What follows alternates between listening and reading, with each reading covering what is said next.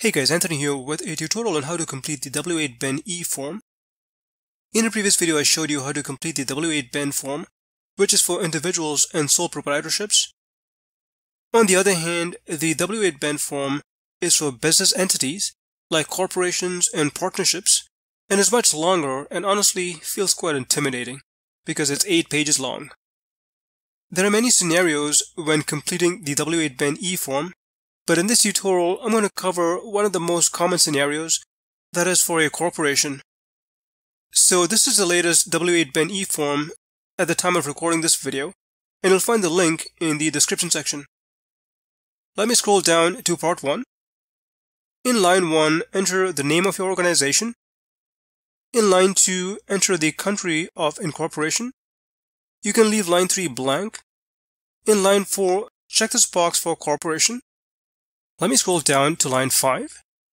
Here, check this box for active NFFE, which is non-financial foreign entity. And here it tells you that you need to complete part 25. But first, let's continue to complete part 1. Let me scroll down. In line 6, enter the permanent residence address of your organization. You can leave line 7 blank if your mailing address is the same as your permanent address. Lines 8 and 9a you can leave blank.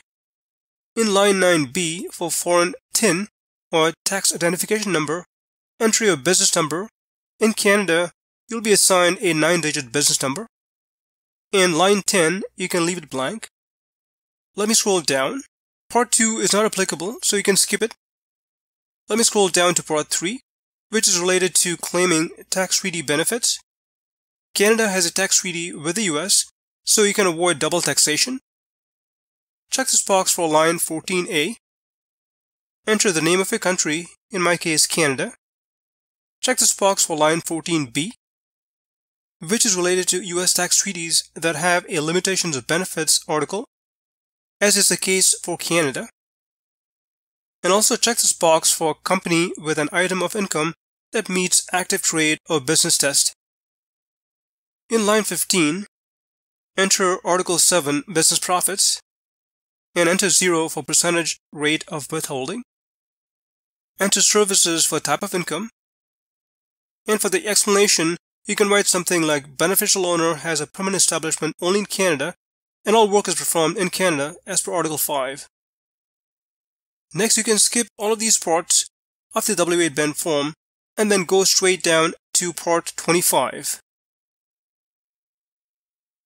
which is active NFFE, and check this box for line 39. Finally, we can scroll down to part 30, which is certification. Make sure that you read all these declarations. Enter your signature in this area. Print your name here. Enter the date. And finally, check this box certifying that you have the capacity to sign for the entity. And that's pretty much it. Well, hope you found this tutorial helpful. If you have any questions, please leave them in the comment section. And thanks for watching.